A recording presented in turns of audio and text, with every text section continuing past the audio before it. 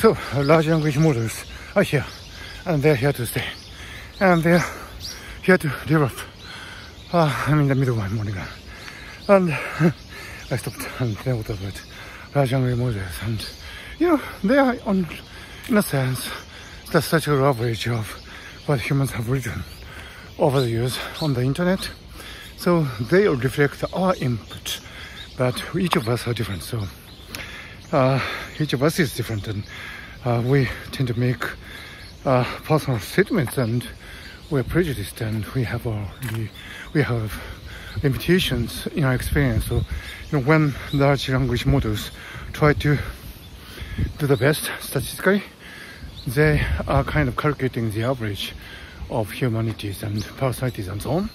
So the really interesting question is what personality, uh, if any, do we assign to these large language models? And that's a really interesting question.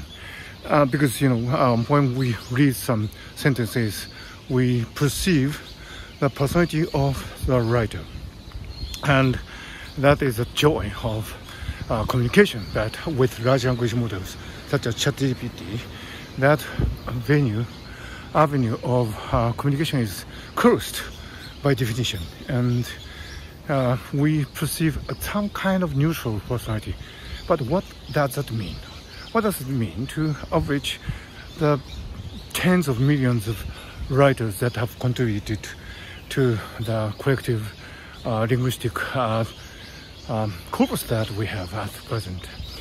So what is the relationship of this average personality to our individual personalities? That is a really interesting question, both theoretically and practically.